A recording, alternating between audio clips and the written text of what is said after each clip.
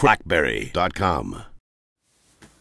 Hi everyone, Adam here for crackberry.com. We're very quickly going to check out how to make folders on the new BlackBerry Playbook uh, 2.0 software. You can see here I have some set up already. I have a games folder up top here, um, and I have utilities down here, my Android player, apps on the bottom here. So you can see when you tap the, uh, the folder icons, it expands your folder there so you have all your icons inside.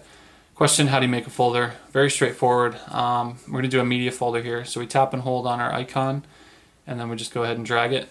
And you can see there how it changes to the uh, the folder. And once we set it in there you're going to have the option to name it.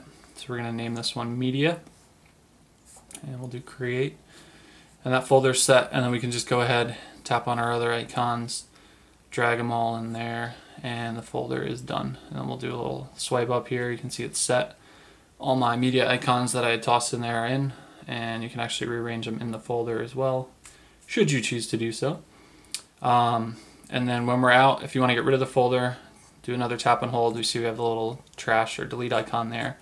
Tap that. It's going to ask if we want to delete them and they'll be returned to the home screen. We go ahead and delete and you can see just like that, everything is back on the home screen. So that's it. You can make tons of folders. I have one up here for my games. Um, like I said, my utilities and my Android player. So you're all set. That is how to make folders on the version 2.0 software for the BlackBerry Playbook.